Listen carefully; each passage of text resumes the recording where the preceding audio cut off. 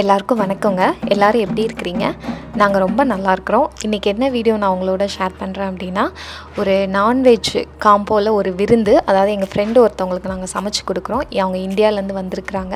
அப்புறம் நான் உங்ககிட்ட ஆல்ரெடி ஷேர் பண்ணியிருக்கேன் இல்லையா? நேட்டிவ் ஸ்பெஷல் அவங்க வந்து எங்களுக்கு தீபாவளிக்கு ஒரு gift அனுப்பியிருக்காங்க. அதையும் நான் உங்களோட ஷேர் பண்ணி பண்ணுறேன் அப்புறம் வந்துட்டு இந்த லஞ்செல்லாம் முடிச்சுட்டு நான் பறை ப்ராக்டிஸ் போயிருந்தேன் அதையும் நான் உங்களோட ஷேர் பண்ணுறேன் இப்போ வாங்க நம்ம வீடியோக்குள்ளே போகலாம் வீடியோ எடுத்தது பார்த்திங்கன்னா சண்டே ஸோ சண்டே வந்து மார்னிங் பிரேக்ஃபாஸ்ட் வந்து கொஞ்சம் லைட்டாக தான் சாப்பிட்டோம். ஏன்னா மதியம் வந்து நான்வெஜ் நல்லா ஹெவியாக பண்ணலாம் அப்படின்னு சொல்லிட்டு ஃபஸ்ட்டு வந்து ஹரி வந்து ஃபுல் வீடையும் க்ளீன் பண்ணிட்டான். அவனோட டாய்ஸ் எல்லாத்தையும் க்ளீன் பண்ணிட்டான். நான் வந்து அந்த கிரே குழம்புக்கு தேவையானது அதுக்கெல்லாம் வந்து வெங்காயம் கட் பண்ணி வச்சுருந்தேன். எங்கள் வீட்டுக்காரங்களும் வந்து என்னை ஹெல்ப் பண்ணாங்க. இப்போ வந்து இது வந்து முக்கால் கிலோ மட்டன் மட்டன் வந்து இஞ்சி பூண்டு பேஸ்ட்டு கொஞ்சம் எண்ணெய் கொஞ்சம் மஞ்சள் பொடி. அப்போ தேவையான அளவு உப்பு போட்டு அந்த மட்டன் முங்குற அளவுக்கு தண்ணி ஊற்றிட்டு கூடவே நான் வந்து ரெண்டு காஷ்மீர் ரெட் சில்லி போடுவேன். அந்த ஃப்ளேவர் நல்லாயிருக்கும் அதில் இறங்குறது. ஆஹ் உங்ககிட்ட காஷ்மீர் ரெட் சில்லி அப்படின்னா நார்மல் ரெட் சில்லி ஒன்றே ஒன்று போடுங்க கரெக்டாக இருக்கும். இப்போ அந்த மட்டன் மூழ்கிற அளவு தண்ணி ஊற்றிட்டு ஒரு ஒரு ஏழுலேருந்து எட்டு விசில் விட்டு எடுத்துக்கிட்டேன் நான். அதுக்கப்புறம் பார்த்தீங்கன்னா சிக்கன் குழம்பு வந்து எங்கள் ஊர் ஸ்டைலில் பண்ணலாம் அப்படின்னு சொல்லிட்டு ரொம்ப ஈஸியாகவும் பண்ணிடலாம் சிக்கன் குழம்புக்கு தேவையான ஒரே ஒரு பெரிய வெங்காயம் இந்த மாதிரி குட்டி குட்டியாக நான் கட் பண்ணி எடுத்துக்கிட்டேன். அப்புறம் ஒரு குக்கரில் கால் கப் நல்லெண்ணெய் விட்டுட்டு எண்ணெய் சூடானதும் கொஞ்சம் சீரகம் கொஞ்சம் பெருஞ்சீரகம் ரெண்டு காஞ்ச மிளகா அப்புறம் கருவேப்பிலை நிறையா போட்டுட்டு அது நல்லா பொரிஞ்சு வந்துடணும் அப்படியே இடையில வந்து எங்கள் வீட்டுக்காரங்க கொஞ்சம் கொஞ்சம் ஹெல்ப் பண்ணாங்க. சிக்கன்லாம் க்ளீன் பண்ணி கொடுத்துட்டு இருந்தாங்க. அது எனக்கு கொஞ்சம் ஈஸியாகவும் சமையல் வே வேகமாகவும் முடிச்சிட்டேன். இப்போ வந்து மட்டனுக்கு விசில் ஏழு எட்டு விசில் வந்துருச்சு. ஸோ அதை இறக்கி தனியாக வச்சுக்கிட்டேன். இப்போ இந்த இதெல்லாம் எண்ணெயில் பொரிஞ்சதும் நான் குட்டி குட்டியாக கட் பண்ணி வச்சுருக்கிறேன் இல்லையா? பெரிய வெங்காயம். அதையெல்லாம் சேர்த்துட்டு அந்த வெங்காயம் நல்லா வதங்குறதுக்கு ஒரு ஒரு டீஸ்பூன் உப்பு போட்டு அதையும் நல்லா மிக்ஸ் பண்ணி விட்டு வெங்காயம் நல்லா வதங்கணும். அது வரை வதக்கிட்டு இருந்தேன். அப்புறம் அந்த அந்த கேப்பில் வந்து சாப்பாடுக்கு ரைஸ் வச்சு அந்த ரைஸ் ஊற வைக்கிறதுக்கெலாம் எடுத்து வச்சுக்கிட்டு இருந்தேன் நம்ம சப்ஸ்கிரைபரோட பொண்ணு துளசி அப்படிங்கிறவங்களுக்கு வந்து அக்டோபர் டுவெண்ட்டீத் வந்து பர்த்டே அந்த பொண்ணுக்கு வந்து நான் இப்போ பர்த்டே விஷ் பண்ணுறேன் wish you happy birthday Tulasi. Hi ஹயா uh, Deivanayaki அப்படிங்கிறவங்களோட பொண்ணு புகழினி. Uh, அவங்களுக்கும் ஒரு பெரிய ஹாய் அப்புறம் Shelina. Hi Swetha hi Uditha hi Yugan hi Vasanthi hi Kunguma Priya hi Sankari hi Anu. இவங்க எல்லாருக்குமே ஒரு பெரிய ஹாய். அப்புறம் பார்த்திங்கன்னா நம்ம மதுரை ஸ்டைலில் சுக்கா பண்ணுறதுக்கு அந்த மசாலா பொருட்கள்லாம் வறுத்துக்கிட்டேன். அதுக்கு மிளகு இது கொ மல்லி சீரகம் சோம்பு பட்டை கிராம்பு அப்புறம் வத்தல் அப்புறம் காஷ்மீரி வத்தல். இதெல்லாம் போட்டுட்டு நல்லா அந்த ஸ்மெல் வர வர கரியாமல் இருக்கணும். கொஞ்சம் நல்லா ஸ்மெல் வர வர பொன்னிறமாக வறுத்து அதை தனியாக ஒரு பிளேட்டில் ஆற வச்சுக்கிட்டேன். இதோட அளவுகள்லாம் நான் டிஸ்கிரிப்ஷனில் கொடுக்குறேன். செக் பண்ணி பாருங்கள் இந்த வெங்காயம் பார்த்திங்கன்னா நல்லா வதங்கினதுக்கப்புறமா அதில் ஒரு டேபிள் ஸ்பூன் இஞ்சி பூண்டு விழுது போட்டு அதோட பச்சை வாசனை போகிற வரை அதாவது ஒரு ஒரு நிமிஷம் வதக்கிக்கிட்டால் போதும். அதுக்கப்புறம் அந்த சிக்கன் குழம்புக்கு ஒரே ஒரு தக்காளி. நான் வந்து ஒ- ஒரு கிலோ சிக்கன் எடுத்திருக்கேன். அதுக்கு வந்து ஒரே ஒரு தக்காளி தான் யூஸ் பண்ணுறேன் ரொம்ப தக்காளி யூஸ் பண்ணக்கூடாது. அந்த தக்காளியும் போட்டுட்டு தக்காளி கொஞ்சம் மசிஞ்சால் போதும். அந்த அளவுக்கு நம்ம தக்காளி நல்லா வதக்கிக்கிட்டேன். அப்புறம் அதே கேப்பில் வந்து அந்த ரைஸ்க்கு நல்லா தண்ணி சூடானதும் ரைஸ் எல்லாம் போட்டு தேவையான அளவு உப்பு போட்டுக்கிட்டேன். இப்போ குழம்புக்கு பார்த்தீங்கன்னா கொஞ்சம் மஞ்சள் பொடி ஒரு டேபிள் ஸ்பூன் மல்லிப்பொடி கொஞ்சம் மிளகா பொடி அப்புறம் ரெண்டு டேபிள் ஸ்பூன் வந்து குழம்பு மிளகா பொடி. இதுதான் அந்த குழம்புக்கே ஒரு டேஸ்ட்டாக நம்ம வீட்டில் வச்சுருப்போம் இல்லையா? நார்மல் குழம்பு மிளகா பொடி. அது போட்டாலே போதும். நம்ம சிக்கன் ரொம்ப நல்லாயிருக்கும். சாம்பார் பொடி போட்டுறாதீங்க. மெல் குழம்பு மிளகா பொடி குழம்பு பொடி. அது வந்து கடையில் கூட ரெடிமேடாக கிடைக்கும். அதை வாங்கி போடுங்க நல்லாயிருக்கும். இப்போ சிக்கனையும் போட்டு அதோட நல்லா மிக்ஸ் பண்ணி விட்டு க்ளோஸ் பண்ணி வச்சுட்டேன். அந்த தண்ணியெல்லாம் வெளியே வர்றதுக்கு. அதுக்கப்புறம் கொஞ்சம் தேங்காய் பேஸ்ட் அரைக்கிறதுக்கு ஒரு டீஸ்பூன் மிளகு ஒரு கால் கப் தேங்காவை நல்லா அந்த மாதிரி கொஞ்சமாக தண்ணி ஊற்றி அதை நல்லா பேஸ்ட்டாக அரைச்சி தனியாக எடுத்து வச்சுக்கிட்டேன்.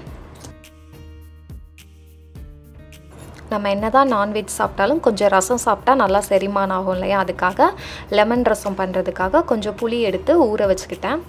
இப்போ ஒரு அஞ்சு நிமிஷம் கழித்து இந்த சிக்கனில் பார்த்திங்கன்னா நல்லா மசாலாலாம் மிக்ஸ் ஆகி கொஞ்சம் தண்ணியெல்லாம் வெளியே வந்திருக்கு சிக்கன்லேருந்து இப்போ நான் வந்து அந்த அரைச்சி வச்சுருந்த தேங்காய் பேஸ்ட்டை இதில் ஊற்றிட்டு ஒரு முக்கால் கப் மட்டும் தண்ணி ஊற்றி நான் அதை நல்லா மிக்ஸ் பண்ணிட்டு உப்பு எல்லாமே செக் பண்ணிவிட்டு குக்கரை மூடி மூணே மூணு விசில் மட்டும் விட்டால் போதும். ரொம்ப விட்டால் வந்து சிக்கன் பிரிஞ்சு பிரிஞ்சு வந்துடும் அதை வச்சுக்கிட்டேன். அப்புறம் வந்து இங்கே மட்டன் சுக்காவுக்கு மட்டனை வந்து கொஞ்சம் சின்ன சின்னதாக கட் பண்ணிக்கிட்டு அந்த வெந்த மட்டனை ஒரு பேனில் ஒரு ரெண்டு டேபிள் ஸ்பூன் ஆயில் ஒரு டே ரெண்டு டேபிள் ஸ்பூன் நெய் விட்டு நல்லா நிறையா கருவேப்பிலை போட்டு சின்ன வெங்காயம் ஒரு ஒரு கப் அளவு சின்ன வெங்காயம் போட்டு அதையும் தேவையான அளவு உப்பு போட்டு நல்லா வதக்கிக்கிட்டேன்.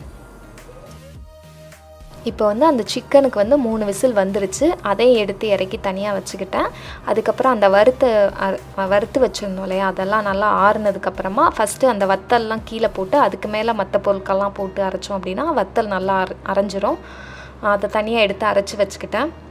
இந்த மசாலேருந்து கொஞ்சம் தான் நான் வந்து யூஸ் பண்ண போகிறேன் மற்றதை வந்து ஒரு ஏர்டைட் கண்டெய்னரில் போட்டு நான் ஃப்ரிட்ஜில் வச்சுக்கிட்டேன் அப்படின்னா ஒரு ஒரு மாதம் அது கெட்டு போகாமல் நல்லாயிருக்கும் இப்போ இந்த சின்ன வெங்காயம் நல்லா வதங்கினதுக்கப்புறமா அதில் வந்து ஒரு ஒரு டீஸ்பூன் அளவு இஞ்சி பூண்டு பேஸ்ட் போட்டு அதை நல்லா ஒரு நிமிஷம் வதக்கிட்டு அந்த மசாலாலேருந்து ஒரு நாலு டீஸ்பூன் மசாலா மட்டும் சேர்த்துட்டு அதை நல்லா மிக்ஸ் பண்ணி விட்டுக்கிட்டேன். ரொம்ப நேரம் மிக்ஸ் பண்ணக்கூடாது. ஏன்னா நம்ம மசாலா கரிஞ்சிரும். இப்போ அந்த வேக வச்ச மட்டன்லாம் நான் எடுத்துகிட்டு அந்த மசாலாவோட நல்லா மிக்ஸ் பண்ணிக்கிட்டேன். மிக்ஸ் பண்ணிட்டு அந்த தண்ணி இருக்குது பார்த்தீங்களா அது ஃபுல்லாகவே நம்ம சேர்த்துக்கணும். சேர்த்துட்டு அந்த தண்ணி வத்துற வர நல்லா மட்டனை கொதிக்க விடணும். அந்த மசாலா எனக்கு காங்கலனால எக்ஸ்ட்ரா ஒரு டீஸ்பூன் மசாலா சேர்த்துக்கிட்டேன். மொத்தம் நான் அஞ்சு டீஸ்பூன் அந்த சுக்காவுக்கு மசாலா சேர்த்துருக்குறேன். இப்போ இதை மூடி வச்சுட்டு அதை நல்லா கொதிக்க விட்டுக்கிட்டேன். அவங்க வர்றாங்க இல்லையா? எங்கள் ஃப்ரெண்டு அவங்களுக்கு ஒரு குட்டி பாப்பா இருக்குது நாலு வயசு பொண்ணு. அவளுக்காக தனியாக பருப்பு வச்சிடலாம் அப்படின்னு சொல்லிட்டு கொஞ்சம் த பருப்பை வேக வச்சுக்கிட்டேன். ரசம் பார்த்திங்கன்னா ஆல்ரெடி இதுக்கு முன்னாடி நிறைய வீடியோவில் காட்டியிருப்பேன். அதனால் அதே மாதிரி தான் பண்ணியிருக்கேன் லாஸ்ட்டாக மட்டும் ரெண்டு டீஸ்பூன் வந்து லெமன் ஜூஸ் ஊற்றியிருக்கேன் அவ்வளோதான் மற்றபடி இது நான் வித்தியாசமாக எதுவும் ரசம் நான் பண்ணலை.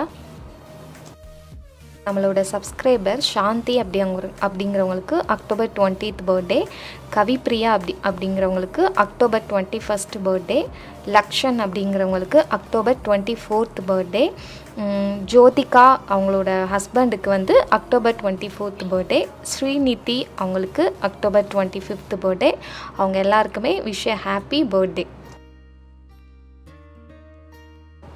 இப்போ பார்த்தீங்கன்னா இந்த சிக்கன் விசில்லாம் போனதுக்கப்புறம் நல்லா எண்ணெயெல்லாம் பிரிஞ்சு நல்லா வந்திருக்கும். இந்த கன்சிஸ்டன்சியே போதும். நம்ம சாதத்துக்கு ஊற்றி சாப்பிட்றதுக்கு நல்லாயிருக்கும். ஆக்சுவலாக லாஸ்ட் வீக்கெண்டு வந்து பார்த்திங்கன்னா அந்த டாக்டர் மூவிக்கு போயிருந்தோம். தேட்டருக்கு போயிருந்தோம். ஒரு ரெண்டு வருஷம் கழித்து தேட்டரில் போய் படம் பார்த்தோம். நல்லா இருந்தது. நான்லாம் எங்கள் வீட்டுக்காரங்களை அடித்து அடித்து சிரித்தேன் அப்படி இருந்தது மூவி அன்னைக்கு நைட்டு தான் எங்கள் ஃப்ரெண்டு அவங்க வந்து இந்தியாவிலேருந்து யூஎஸ்ஏக்கு வந்திருந்தாங்க. அவங்க பேர் சாந்தி சரவணன். அவங்க ஆல்ரெடி யூஎஸில் இருந்தாங்க. இடையில இந்தியா போயிட்டு இப்போ திரும்ப வந்திருக்காங்க. அவங்களுக்கு ஒரே ஒரு ஷாஷினி அப்படின்னு சொல்லிட்டு ஒரு பொன் குழந்தை இருக்குது அவங்களுக்காக தான் அன்றைக்கி நான் நான்வெஜ் பண்ணேன். இந்த மட்டன் சுக்கா பார்த்திங்கன்னா ஒரு கால் மணி நேரத்தில் அந்த மட்டனோட தண்ணியெல்லாம் வற்றிட்டு நல்லா சூப்பராக ரெடி ஆயிடுச்சு. லாஸ்ட்டாக இதில் வந்து ஃப்ரெஷ்ஷாக அந்த கருவேப்பிலையை இந்த மாதிரி பிச்சு போட்டிங்க அப்படின்னா ரொம்ப அந்த ஃப்ளேவர்லாம் இறங்கி நல்லாயிருக்கும் இதை லாஸ்ட்டு அந்த கருவேப்பிலை கொத்தமல்லியெல்லாம் போட்டு மிக்ஸ் பண்ணிவிட்டு இதை தனியாக ஒரு பவுலுக்கு நான் மாற்றிக்கிட்டேன் இந்த மட்டன் சுக்கா பார்த்திங்கன்னா நம்ம நார்மல் ரைஸு அப்புறம் பிரியாணி ரச சாதம் இதுக்கெல்லாம் சைடிஷ்ஷாக வச்சு சாப்பிட்டோம் அப்படின்னா சூப்பராக இருக்கும். ரொம்பவே நல்லாயிருக்கும் கண்டிப்பாக செஞ்சு பாருங்கள் மட்டன் சுக்கா பார்த்திங்கன்னா ஆல்ரெடி நம்ம சேனலில் வந்து நான் மதுரை மட்டன் சுக்கா அப்படின்னு சொல்லிட்டு ஒரு கா கிலோ மட்டனுக்கு எப்படி பண்ணலாம் அப்படின்னு நான் போட்டிருக்கிறேன். செக் பண்ணி பாருங்கள் எல்லாமே ரெடி ஆயிடுச்சு. ரசமும் இந்த மாதிரி லைட்டாக கொதியில் லாய் வந்ததுக்கப்புறமா ரொம்ப கொதிக்க விட மாட்டேன் நான். அதில் வந்து ரெண்டு ஒரு ரெண்டு டீஸ்பூன் அதான் அந்த மூடி இருக்குது பார்த்தீங்களா அதில் ரெண்டு மூடி லெமன் ஜூஸ் ஊற்றிட்டு உடனே ஆஃப் பண்ணி தேவையான அளவு உப்பு போட்டு இறக்கி வச்சுருவேன். இப்போ வந்து அவங்க ஃப்ரெண்டு வந்திருக்காங்க இல்லையா அவங்க ஹோட்டலில் தான் ஸ்டே பண்ணியிருக்காங்க. ஒரு டூ வீக்ஸ் வந்து குவாரண்டைன் மாதிரி. ஸோ அவங்களுக்கு வந்து சாப்பாடு வந்து நான் பேக் பண்ணி எங்கள் வீட்டுக்காரங்கிட்ட கொடுத்து விட்டேன் அப்படின்னா இங்கேருந்து பக்கத்தில் ஒரு பத்து நிமிஷம் தான் அந்த ஹோட்டல் இருக்குது இப்போ காரில் போய் போயிட்டு வந்துடலாம். அவங்க கொடுத்துட்டு வரையும் நாங்கள்லாம் அடுத்து சாப்பிட ஆரம்பித்தோம் அதுக்கப்புறம் பார்த்திங்கன்னா நம்ம நேட்டிவ் ஸ்பெஷல் பற்றி நான் ஆல்ரெடி நம்ம சேனலில் சொல்லியிருக்கிறேன். அவங்க வந்து எங்களுக்கு தீபாவளிக்கு வந்து ஒரு சர்ப்ரைஸாக கிஃப்ட் அனுப்பிச்சிருந்தாங்க. அந்த பார்சலை வந்துட்டு நானும் ஆதிரனும் எப்படி அதை ஓப்பன் பண்ணுறோம் அப்படிங்கிறத நான் உங்களோட ஷேர் பண்ணுறேன் ஐய் இங்கே கூட ஓப்பன் பண்ணுவோம் ஆதிரன் கூட ஓப்பன் பண்ணுவோம். குர்ரா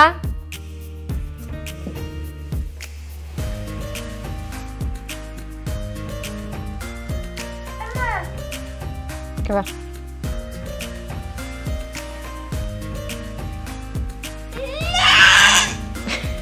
பொறுமையே கிடையாது. ஏய் இந்த சைடு வா.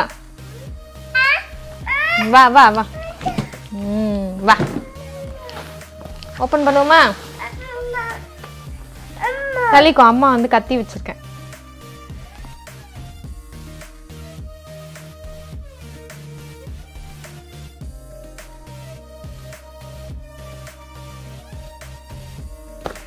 ஆக்சுவலி நேட்டிவ் ஸ்பெஷல்லேருந்து நிறையா ஸ்வீட் பாக்ஸ் வந்து கிஃப்ட் அமைச்சிருக்காங்க நாங்கள் ஒன் டைம் தான் அவங்ககிட்ட வாங்கினோம்.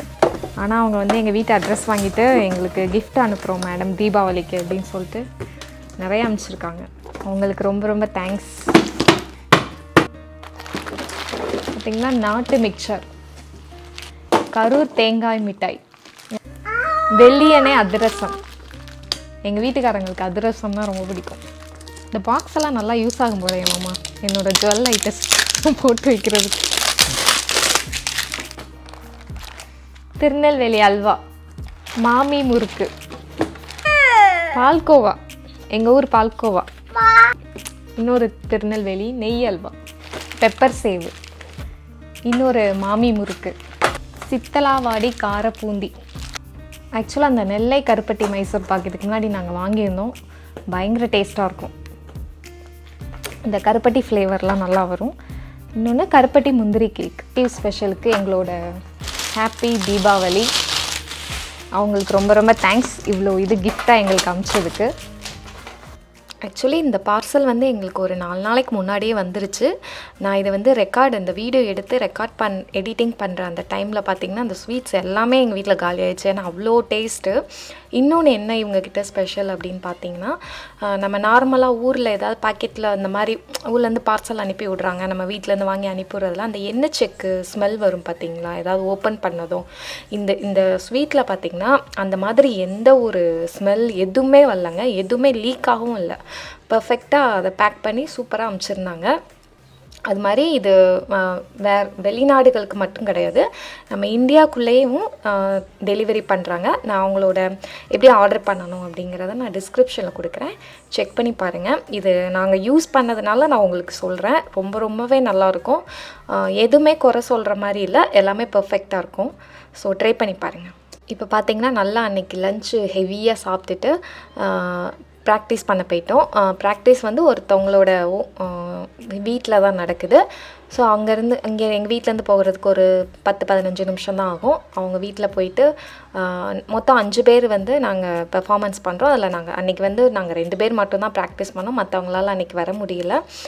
இனிமேல் ஒவ்வொரு வீக்கெண்டும் ப்ராக்டிஸ் வச்சுக்கலாம் அப்படின்னு நாங்கள் சொல்லியிருக்கிறோம். நான் உங்களோட ஷேர் பண்ணுறேன் ஒவ்வொரு டைமும் நாங்கள் ப்ராக்டிஸ் எப்படி பண்ணுறோம் அப்படின்னு சொல்லிட்டு கடைசி என்னோட எங்களோட பெர்ஃபார்மன்ஸே நான் உங்களோட ஷேர் பண்ணுறேன்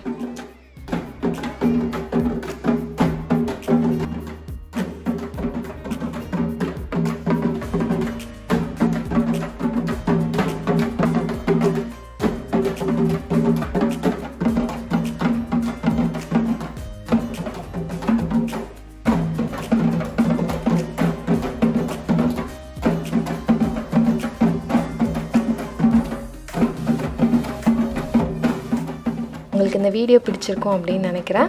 கண்டிப்பாக அந்த ரெசிபீஸ் எல்லாம் ட்ரை பண்ணிவிட்டு எனக்கு எப்படி இருக்குது அப்படின்னு சொல்லிட்டு கீழே கமெண்ட் பண்ணுங்கள் தேங்க்யூ